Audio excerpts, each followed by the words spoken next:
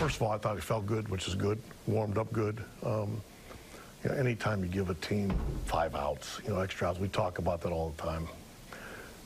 And he damn near got out of it. You know, he got ahead in 0-2 and he, then he hung a breaking ball. But other than that, I thought his breaking ball was probably better. I thought his fastball command was not where it usually is. Um, that was probably the worry going in. Just he's such a creature of habit, and his routine was different this time. But he'll he'll be he'll be fine. kind of just off of that, that kind of level of rust, something you sort of expected? I, I wouldn't say expect, but I, because you always, you know, it's Kluber. But I don't think it's. I can understand it. Um, you know, and then again, some nights, you know, when you need a little help, you don't get it. You know, that, that inning was looked like it was going to be a harmless inning, and all of a sudden, we can't get that third out. What they started with. You know, a little bit like yesterday. You know, not overpowering, but just mixing. You know, kind of going back and forth, and you know, taking the sting out of our bats and getting this fastball. Even some of them were 89, 90, but getting them past our barrel because he was getting his breaking ball over. People are going to look at, he's got like a little over five ERA since that start against Minnesota, but he's been dominant in some starts, but a little inconsistent. Is it just kind of one of those ebbs and flows, do you think, for him, like the stretches he's had a little bit? Well, I think he had a point there where I mean he was having tr- a little trouble staying over the rubber, like we talked about. So that's why you know, gave him the injection to try to, you know. But I mean, I don't know if you could go. Maybe he, he's probably the one guy, but I don't know if you can go the whole year at that level.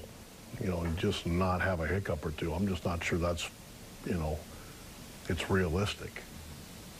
He makes it look that way. When he's going through that, is it, is it with the mechanics, you just need the repetitions for him to just kind of... Well, I think for him, I think that leads to his confidence. You know, his work during the week, his bullpen sessions, and then you get to the game. I think that's what, and I think that's the best way to have confidence. And, you know, that was a little bit off this week, so I can understand that, especially knowing him. Is there any added anxiety just a day like today where it's raining and... I was actually had more anxiety with Brantley after he slipped coming out of the box. But no, I thought the mound was in pretty good shape. I know he was kicking at it a couple times, but it didn't look like it was wet.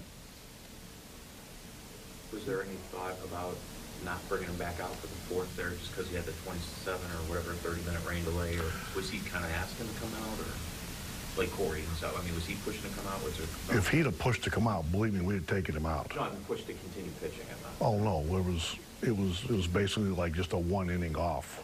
Um, no, I mean you got to start thinking about you know getting through a game, and you know if you take him out after the third, you're going to make a roster move. The pop-up where Yonder and Jose both. Yeah. Yonder called it probably a half a second before Jose. That's a hard play. They're they're both playing deep because Freese is hitting. It's high enough where they can get to it, but they're on a dead run and they're the mound's right in the way. That was like the perfect storm, and it was costly.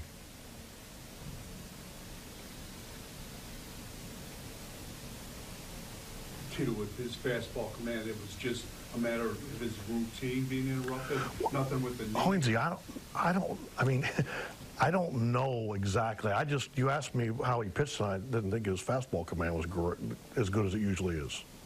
That's, you know, I, I, I'm not going to go give him a scope, check his knee, okay?